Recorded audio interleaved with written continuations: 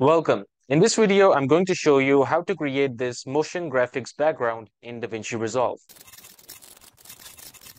So the first thing that we need to do is go over here and create a new Fusion composition. Let's go ahead and type this as background. And then go ahead and double click this so that this opens up. And here we have our media output. So let's quickly go ahead and create a background and connect them. And now what we're going to do is we are going to go over to this background and set the type to gradient. So here you can see we have a linear gradient. So go over here, click this side and set the color to this color code. You can copy this from here. Then go over to this side and add this color code.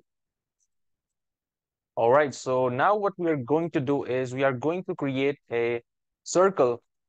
And for that, let's go ahead and add a background once again. But this time we're going to add this ellipse over here. And let's go ahead and connect these two like this. And go ahead in the ellipse section and just uncheck this solid from here. Go ahead and set the border width to 0 0.03 like this. Okay, so now go over to the background and once again, go and set this to gradient. And this time we are going to change the colors to, first of all, this color code. You can copy this. And secondly, we have this color code. You can go ahead, copy this as well. Hit OK. And here you can see we have a hollow circle. Now go over to the ellipse section and over here in the length, go ahead and set this to 0 0.75 like this. And here you can see we have this shape over here. Now what we are going to do is go over at zero and set a keyframe at position like this. And then go all the way to the back and set the position to one. So this will give in give a rotation effect. So our hollow circle will rotate and in this case, it will keep on rotating because this is a loop that will continue. So the next thing that we need to do is go ahead and select both of your ellipse and your background over here and your merge as well. Hit Control C to copy these nodes and hit Control V to paste them over here. And then click on this merge and by dragging it to this line, hit shift on your keyboard, press shift until you see this blue line. And once you see the blue line, just go ahead and leave it. So this will connect it with your timeline. Or you can say it will connect it with the merge that we have over here. So now that we have this, let's go ahead and change the width and the height. So let's go ahead and type 0 0.4 and 0.4. Both add the width and the height over here. Now we are going to set the length to 0.25 like this. Once again, we are going to set the position. So go ahead and select this ellipse and this will, okay, so since we have copied the ellipse and the keyframes were created, we are also getting this rotation effect in both of them. So if we go ahead and play this right now,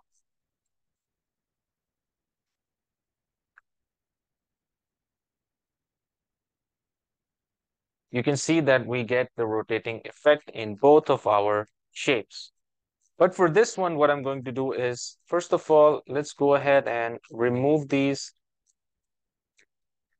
keyframes from here. And right now, I'm going to create a keyframe at zero at the position one. So let's go ahead and create a keyframe here. And over here, I'm going to set the keyframe to zero. So this will both of these shapes will go in the opposite direction. That is the point. So let's go ahead and play this.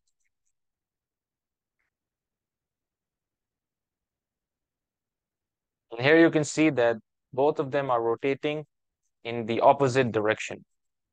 Okay, now let's go ahead and copy these nodes from here and paste them once again. Connect them over here. But this time go over to the merge of them the merge node of them and decrease the size, then simply just place this over here.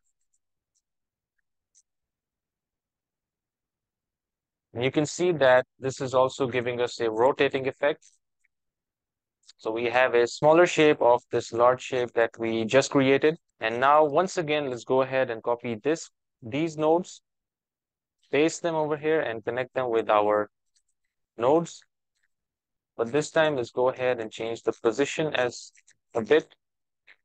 And let's also change the angle. So you can go over to the merge and just change the angle like this so that you will get a different kind of rotation effect like this. And once again, go ahead and copy this, paste this over here, connect them and bring this over here. So you can do this as many times as you want, but I'm just going to, but I'm just showing you how to do this to make this look interesting. Now let's go ahead and change the angle of this as well. You can also go ahead and change the size from here, the length from here as well. So you can go ahead and play around with this. Now let's go ahead and play this.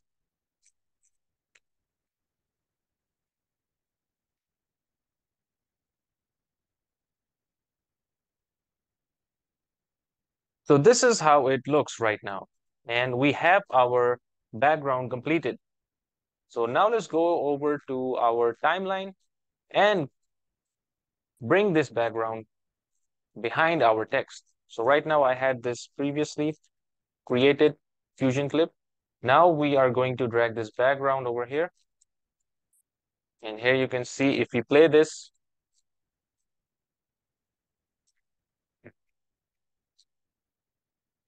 you can see that we have our background. So you can go ahead and add this behind a text. You can use this as a background for your videos. So, and one other thing that you can do is you can go ahead and copy this by clicking Alt, by pressing Alt and dragging it so that this creates a copy and you can increase this. So this can be reused. So this was it for this video. I hope you liked it and I'll see you in the next one.